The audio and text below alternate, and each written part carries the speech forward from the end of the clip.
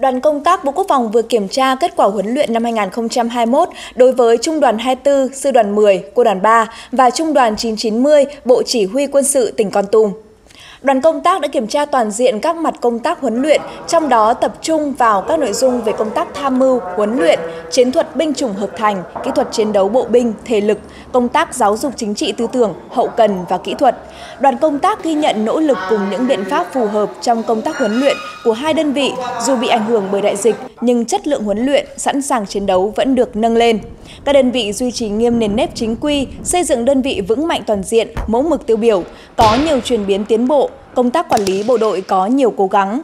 Đoàn công tác yêu cầu hai đơn vị tiếp tục quán triệt sâu sắc các nghị quyết, chỉ thị số 106 của Bộ Quốc phòng về thích ứng an toàn, linh hoạt, kiểm soát hiệu quả dịch COVID-19 trong công tác sẵn sàng chiến đấu, huấn luyện giáo dục đào tạo, xây dựng chính quy, quản lý kỷ luật, thường xuyên làm tốt công tác giáo dục chính trị tư tưởng, xây dựng ý chí quyết tâm cho bộ đội,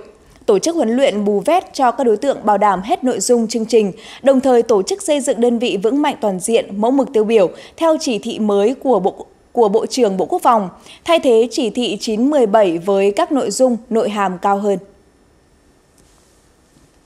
Nhằm đánh giá kết quả huấn luyện và nâng cao khả năng chiến đấu cho đơn vị, sáng mùng 4 tháng 12 tại trường bắn quốc gia khu vực 3, Sư đoàn 9 Quân đoàn 4 đã chỉ đạo Trung đoàn 2 diễn tập chiến thuật có thực binh bắn đạn thật cấp tiểu đoàn năm 2021.